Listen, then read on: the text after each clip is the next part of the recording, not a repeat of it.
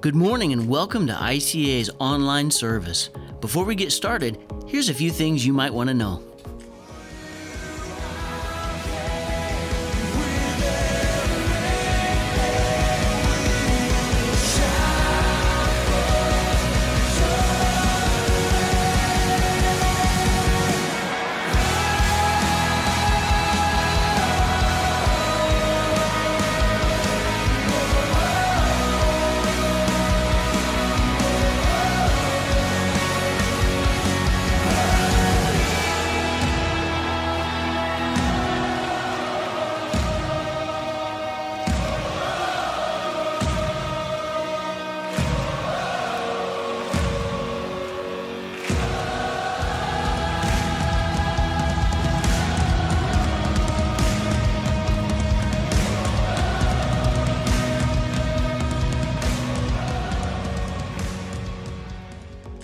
Morning and welcome to ICA.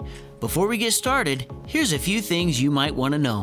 Growth and relationship happens in small group communities. At ICA, we call those Go groups.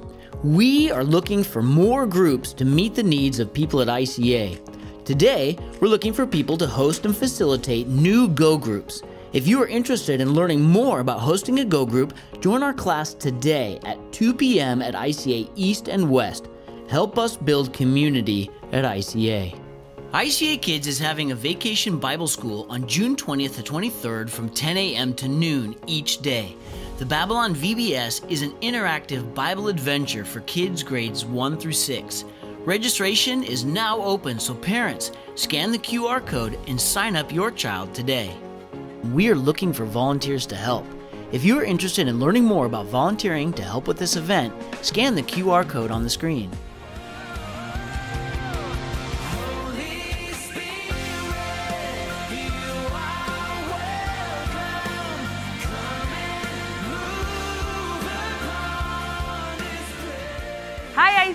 Would like to invite you to come and join ICA 24 Hours of Worship. 24 Hours of Worship is a full day dedicated for us to worship God together here live in person from ICA West Sanctuary. We do 24 hours of worship so that you can come in any time, stay as long as you can, bring your friends and worship God together because He's worthy and He deserves all the glory and praise that we can give. Save the date. May 31st, 7 p.m., all the way to June 1st, 7 p.m. Prepare your heart. We'll see you there. Let's worship God together, seeking Him upward for the audience of one.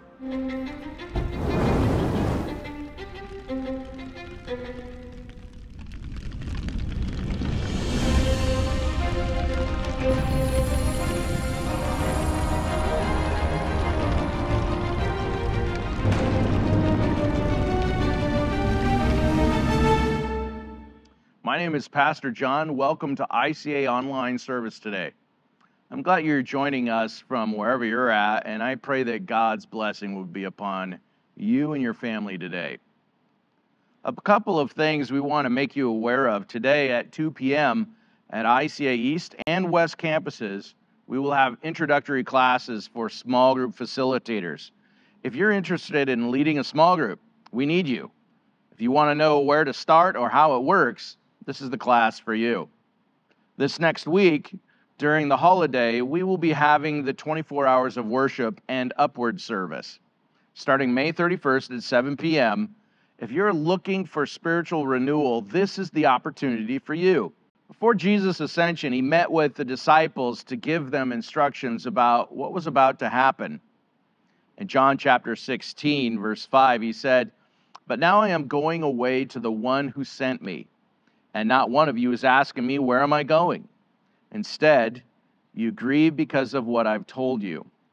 But in fact, it is best for you that I go away, because if I don't, the advocate won't come.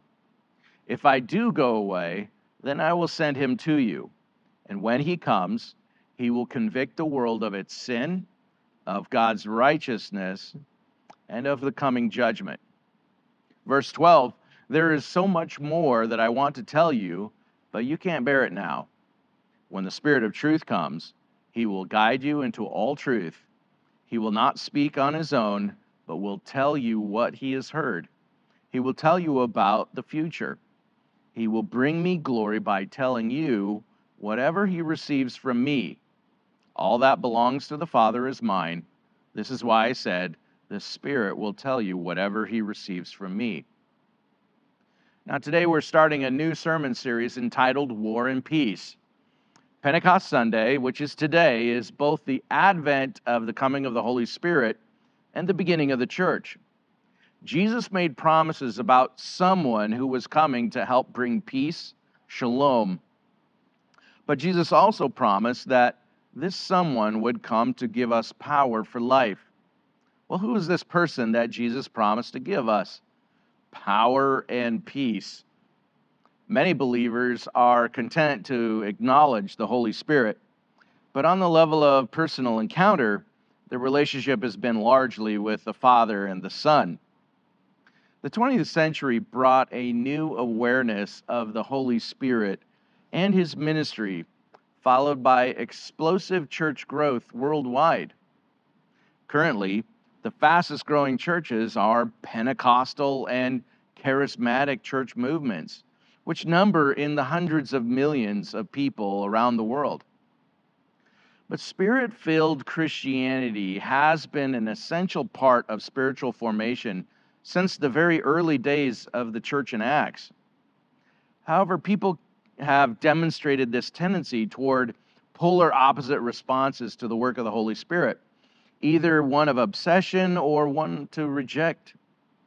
Behind rejecting the Holy Spirit lies the twin fears of experiential excess or the loss of control. Motivating the obsession is emotionalism, sensationalism, and a vulnerability to manipulation or false teachings. We need to balance both extremes with an openness to the work of the Holy Spirit in our lives. We need discernment that tests experience against the truth of Scripture and the fruit that is produced in our lives. So today we begin this multi week series with two simple questions today. So, who is the Holy Spirit and what does he do? The Holy Spirit is a person, not an impersonal force. We have to remember that the personhood of the Holy Spirit is real. It would be wrong to think of the Holy Spirit as an it. For those of you familiar with the genre of Star Wars, there is a power called the Force that works in the lives of Jedi warriors that gives them their power. But this power comes from an impersonal force. The Holy Spirit, on the other hand, is not an impersonal force like gravity. The Holy Spirit is the third person of the Godhead. There's God the Father, God the Son, and God the Holy Spirit. So, what does the Holy Spirit do?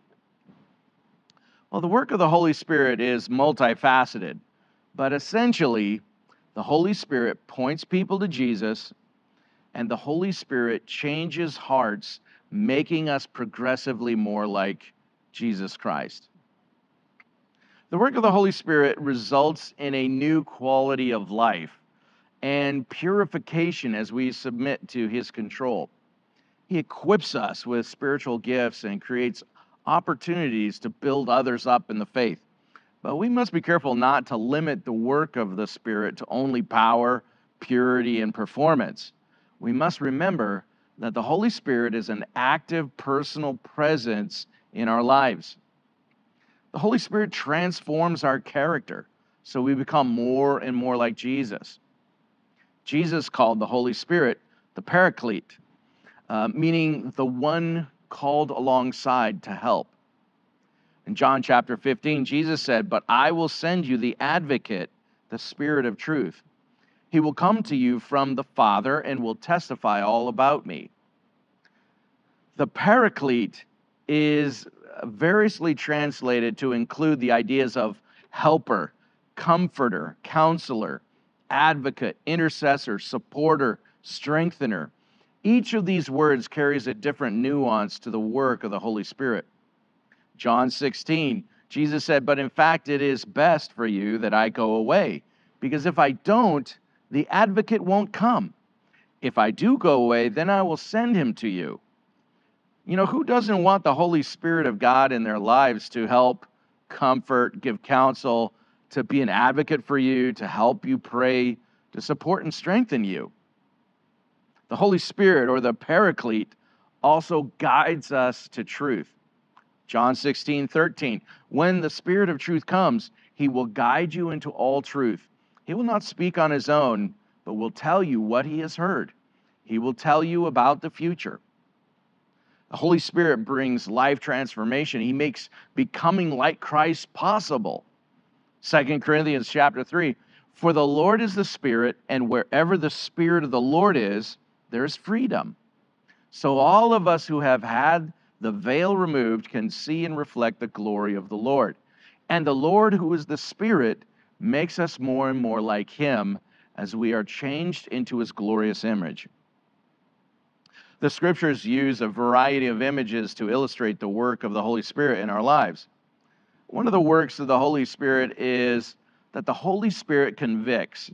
The Holy Spirit convicts believers of sin and righteousness and judgment.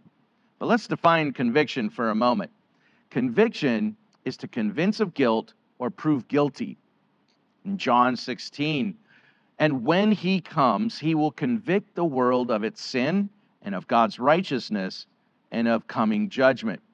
The scripture says that we are convicted by the Holy Spirit in three different ways in the area of our sin, in the area of righteousness, and of judgment. The first is that the Holy Spirit convicts us of sin. It's like the confrontation between King David and the prophet Nathan. Nathan came before the king and laid out his sin in plain sight and, and said to David, You are the man. Then in Psalm 51, we read David's response to being called out by the prophet. David knows he's guilty of sin, he's convicted of his sin, and then he responds in repentance. The Holy Spirit helps bring clarity to the sin in our lives. Uh, I remember when I was a boy, once I stole my friend's Hot Wheels truck and trailer. I felt so guilty about stealing that I returned it you know, I've even had moments where I've said things only to feel conviction about what I had said, and then I had to go back to that person and make it right. Conviction is the first step in repentance. Conviction tells us when we've done something wrong before the Lord. Without the work of conviction, people would never realize their sin or their need to repent and find forgiveness. Second, the Holy Spirit convicts us of righteousness. The Holy Spirit enforces God's holy standard of righteousness in our thoughts and our actions. In the moments of life when we are confronted by choices and opportunities, it is the Holy Spirit that tells us what is right and what is wrong, even before we make or take any action. Have you ever heard the voice of God speaking to you about what is right and what is wrong in a particular situation in your own life? That is the Holy Spirit. Thirdly, the Holy Spirit gives us certainty that judgment is coming unless we repent of our sin. When human sin is confronted by the righteousness of God, judgment always follows. William Barclay famously wrote, What makes a man feel certain that judgment lies ahead? It is the work of the Holy Spirit. It is He who gives us the inner, unshakable conviction that we shall stand before the judgment seat of God. Speaking of awareness of judgment, I remember once when I was about nine years old, my parents and I had gone to visit my oldest sister and her husband living in Seattle. One morning, I got up uh, out of bed and I realized nobody was in the house. And so I went to all the rooms and checked all the beds, and everything was empty. I thought the rapture had taken place and I was left behind and all alone, and I was terrified as a kid. Why? Because in part, I was convinced that God will hold all of us accountable for our deeds, like stealing your friend's Hot Wheels car. Even now, as an adult, there are things that I do and other things that I don't. Why? Because I know that I will stand before God and everything about my life will be laid bare. I want that moment to be a moment of reward and joy, not judgment and shame. Remember, the judgment of God is like a two sided coin. For those who do good, the judgment seat of God doesn't hold any fear, but reward.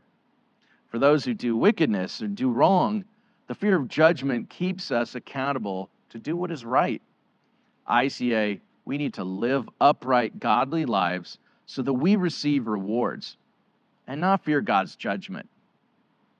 The Holy Spirit also regenerates us, bringing transformation. This happens as the Spirit gives us eternal life through new birth and being born again. Because of regeneration of the Spirit, our lives are transformed.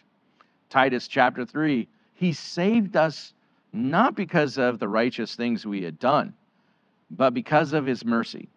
He washed away our sins, giving us a new birth and new life through the Holy Spirit. The regeneration of the Holy Spirit gives a new believer a new nature, born of the Spirit, a new life that is progressively transformed by the Spirit of God. One of Corey's and my closest friends is a couple that they got pregnant out of outside of wedlock. Uh, they ran off and got married without their parents' permission while they were still in high school. Everything in their life was on a trajectory for disaster. But one day, a guy in a mall came and told them about Jesus. They accepted Christ, became followers of Jesus. Today, if you were to meet them and they were to tell you their story, you would have a hard time believing their story. Who they are today is nothing like their past history. Why? Because the work of the Holy Spirit brings regeneration and transformation. The Holy Spirit also seals us he seals our eternal inheritance as a child of God. He seals us uh, for our day of redemption. It's like putting a sticker on your stuff that says property of ICA. But in a spiritual sense, it's a sticker that says property of God on your life. The Holy Spirit seals or puts his identifier on you that you are God's child. Ephesians chapter 1 And now you Gentiles have also heard the truth the good news that God saves you. And when you believed in Christ, he identified you as his own by giving you the Holy Spirit, whom he promised long ago. The Spirit is God's guarantee that he will give us the inheritance he promised and that he has purchased us to be his own people. He did this so we would praise and glorify him. The Holy Spirit's property of God sticker on us is not just an identifier. God sealing us brings a guarantee, a, a pledge to fulfill God's promises to us, and the guarantee of our eternal inheritance. 2 Corinthians chapter 1 verse 22 and he has identified us as his own by placing the Holy Spirit in our hearts as the first installment that guarantees everything he has promised us. God guaranteeing his promises to us is important because of every time we have ever asked, Lord, when will you fulfill your promises to make the wrong things right? Every time we ask God, why do the wicked succeed while the righteous get kicked in the teeth? Every time we live righteously and our reward is deferred. You know, God's seal on our lives is his guarantee that everything he promised will be fulfilled. The Holy Spirit lives in us. The Spirit of God also permanently lives in believers. Our bodies, the scripture says, are temples of the Holy Spirit living in us. Uh, 1 Corinthians chapter 6. Don't you realize that your body is the temple of the Holy Spirit who lives in you and was given to you by God? You do not belong to yourself, for God bought you with a high price. So you must honor God with your body. Because the Holy Spirit indwells our bodies, we don't abuse our bodies. We don't uh, we don't degrade our bodies by our behavior. We don't use our bodies for unholy purposes. Why? Well, because we are the temple, the dwelling place of the Spirit and presence of God. This is why we don't believe in like self mutilation and cutting and self abuse, because this is the abuse of God's temple, the place where God's Spirit resides in us. We need to treat our bodies with respect as God's temple. Additionally, what motivates the Christian toward health and fitness should not be just narcissistic love of self. Rather, it is also motivated by a love for God and respect for the physical temple that God has given us, our bodies. The Holy Spirit also fills us. When we were filled with the Holy Spirit, we are controlled by the Spirit, producing joy and praise in our hearts and in our lives. Ephesians 5 Don't be drunk on wine, because that will ruin your life. Instead, be filled with the Holy Spirit, singing psalms and hymns and spiritual songs among yourselves, and making music to the Lord in your hearts. When we are full of the Holy Spirit, we experience a merriment and a joy in our lives we don't require drugs or alcohol to feel good. You know, we can have a sense of well being and joy that is outside of our circumstances. I think I told this story once before of my first car, 1978 Pontiac Firebird. Over a period of time, I rebuilt that car. I rebuilt the motor, I had it repainted. Uh, one day while I was in college, it caught fire while I was driving down the road. Uh, it was caused by an electrical short, and all I had to do was stop the to stop the fire was turn off the car and disconnect the battery. But unfortunately, I'd loaned out my tools the night before, so I couldn't disconnect the battery, and the car burned up. I remember calling my dad. He asked me how I was doing. I said, "Dad, I can't really explain it, but I have a sense of joy. I feel completely at peace. I have a sense that everything is going to be okay." Well, why? Well, that's because the Holy Spirit fills us with joy and praise when circumstances are even painful. Another thing, the Holy Spirit fills us with the fruit of the Spirit. That's in Galatians chapter 5, but we're going to save that topic for another week. The Holy Spirit also empowers us. There are two other aspects of the work of the Holy Spirit. He provides power for ministry in our words and our deeds and he empowers us to confront evil.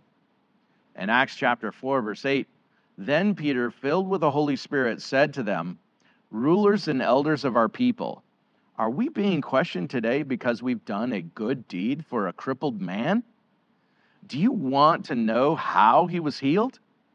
Let me clearly state to all of you and to all the people of Israel that he was healed by the powerful name of Jesus Christ the Nazarene.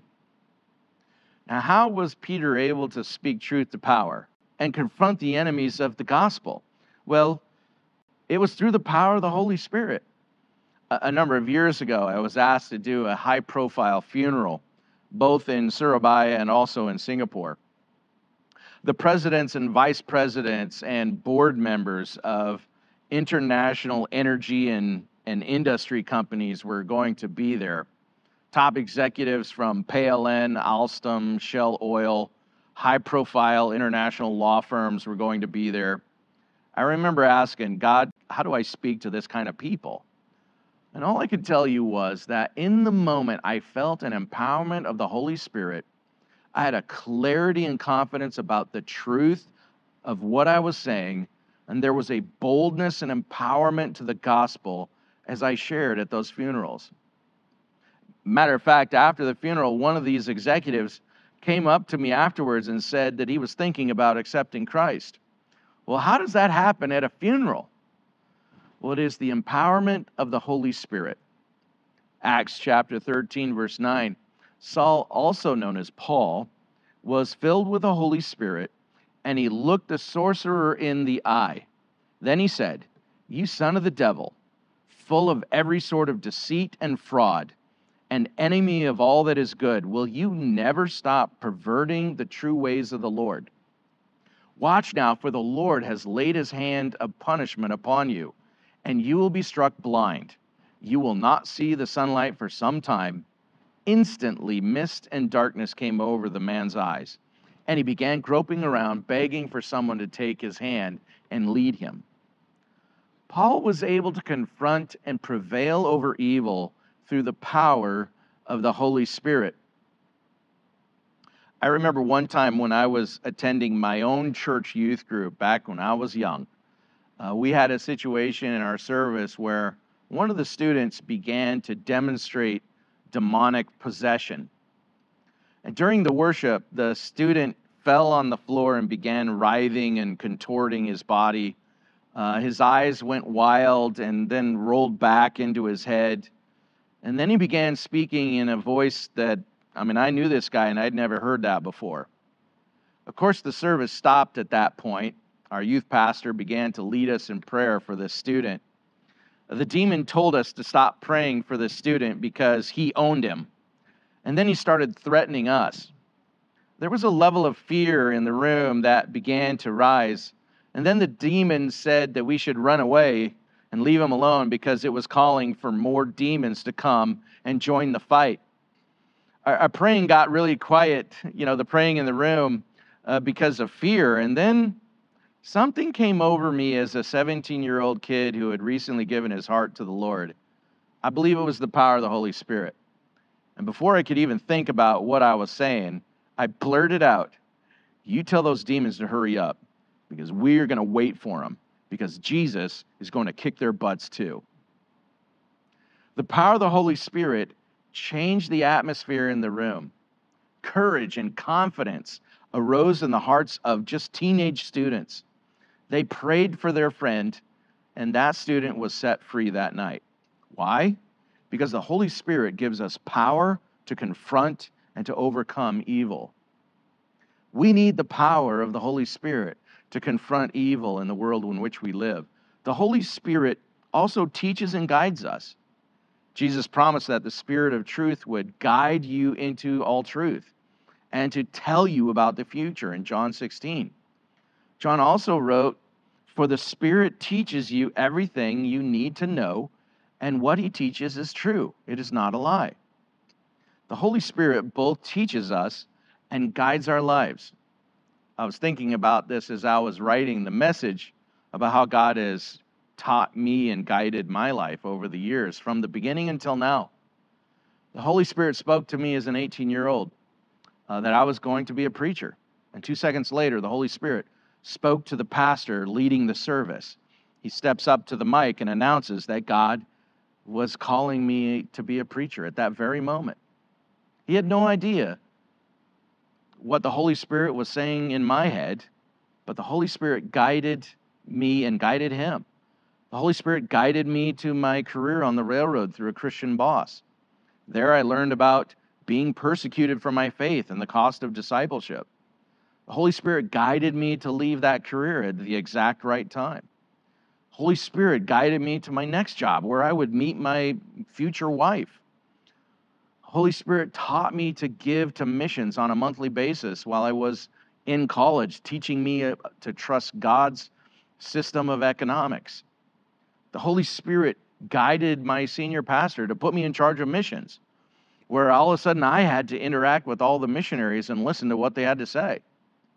The Holy Spirit guided me to leave that church and go back to, to university.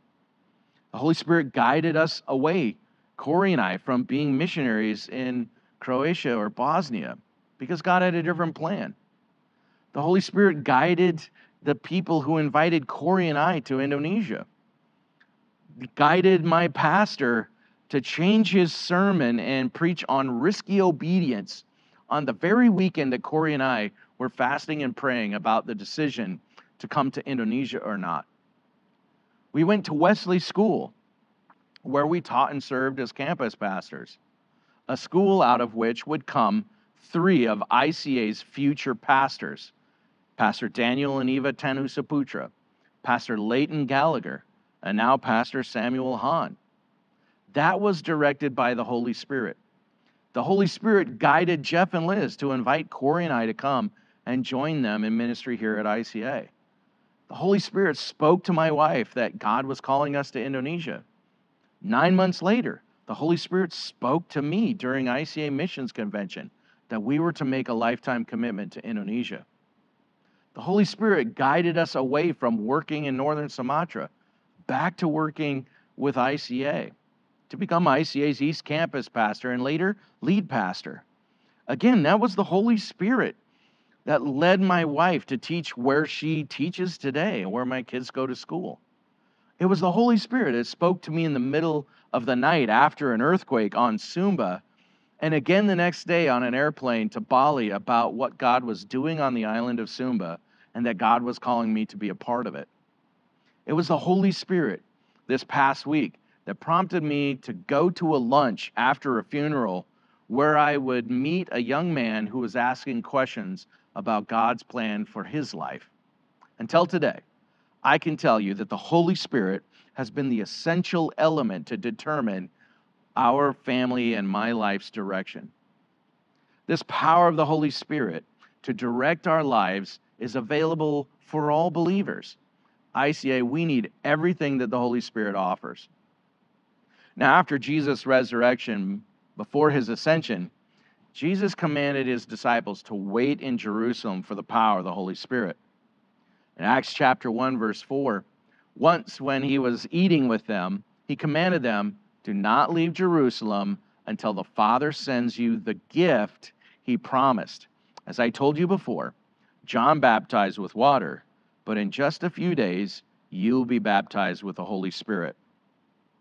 So the disciples did, you know, what Jesus said in Acts chapter 1. And after Jesus' ascension, the disciples went back into Jerusalem where they waited in an upper room there were about 120 of them on that Pentecost Sunday. They replaced Judas with another apostle, Matthias. And finally, on Pentecost Sunday, Acts chapter 2, on the day of Pentecost, all the believers were meeting together in one place.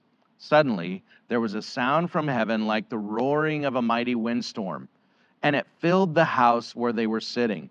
Then, what looked like flames of tongues of fire appeared and settled on each of them and everyone present was filled with the Holy Spirit and began speaking in other languages, as the Holy Spirit gave them this ability.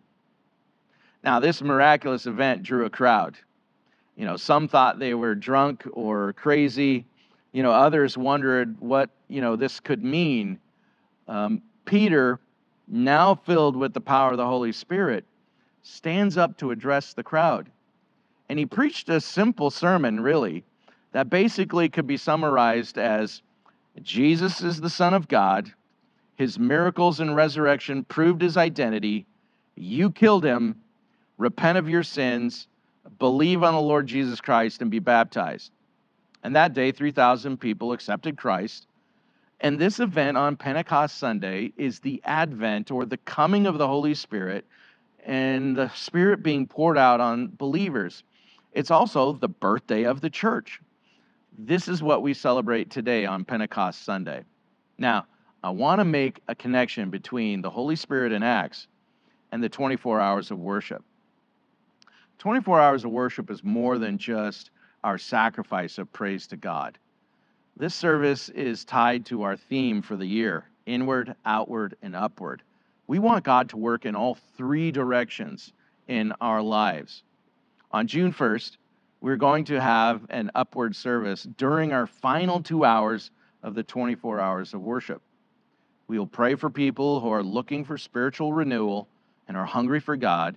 We'll pray for you who are wanting more of the power of the Holy Spirit in your lives. And if you're looking for God to ignite or reignite your spiritual life, the 24 hours of worship is for you. I want to encourage you to come and give something to the Lord in your worship and then receive something from Him as well. Jesus talked about this idea of waiting on God for His power. Jesus told the disciples to wait for the power of the Holy Spirit that would come, that He would bring to their lives. There was a time of worship and reflection in the upper room between when Jesus said the Holy Spirit would come and when He finally came. They waited on God in a similar way. I'm asking you to spend this week waiting, reflecting, and seeking the power of the Holy Spirit in your own lives. We need everything that the Holy Spirit offers the believer. And we're believing God for people to receive the power of the Holy Spirit during the 24 hours of worship. I want to encourage you to come. Now let's pray. Lord, we need the paraclete the one who comes alongside, the Holy Spirit, to come and help us. We need the Holy Spirit to convict us of sin and of righteousness and of judgment. We need the Holy Spirit to bring regeneration and transformation in our lives. Lord, we're asking for your Holy Spirit to fill us, to empower us in our words and in our action. We need the power of the Holy Spirit to confront the evil that we see in our own lives, Lord, in our homes, in our schools, in our workplaces. God, we need the Holy Spirit to teach us how to live and to guide our lives into the future. We need your Holy Spirit to use us to point people to Jesus. Lord, we want everything that the scriptures say that the Holy Spirit accomplishes in our lives. Lord, you said that the Holy Spirit would come after you left to help us. Lord, we need that help. God, this week, would you help us as we commit ourselves to waiting on you for the gift of the Holy Spirit and the power that He offers to be made real in our lives? Lord, I ask this in Jesus' name. Amen. Now I'm going to ask that you raise your hands and receive the benediction today uh, before you go. It's a blessing I just want to pray over you. It comes from Romans chapter 15, verse 13. It says this I pray that God, the source of hope, will fill you completely with joy and peace because you trust in Him. Then you will overflow with confident hope through the power of the Holy Spirit. May the Lord do all of these things in your lives this week. In Jesus' name we pray. Amen. The Lord bless you. Thank you for coming and joining us to on our on our online service. We'll see you next week, and we'll see you at the 24 hours of worship. Thank you for joining us today at ICA Online. We hope you had a great Sunday, and we look forward to seeing you again next week. Growth and relationship happens in small group communities. At ICA, we call those Go groups. We are looking for more groups to meet the needs of people at ICA. Today, we're looking for people to host and facilitate new Go groups.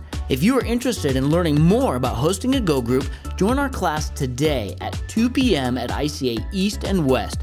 Help us build community at ICA. ICA 24 hour worship is happening May 31st to June 1st we will be gathering to worship God for 24 hours in a row at ICA West. Come join us and stay as long as you like, and let's seek God upward together.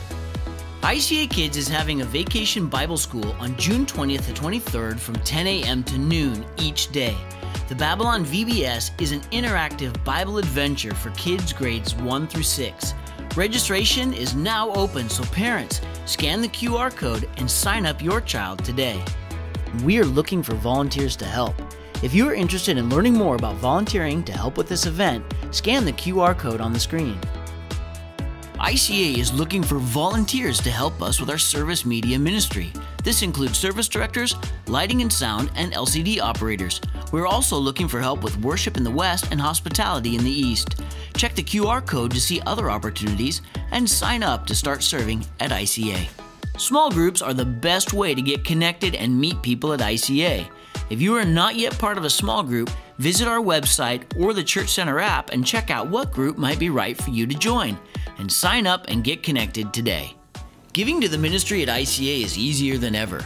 Just scan the QR code with your mobile banking app or enter the account number on screen to make a transfer.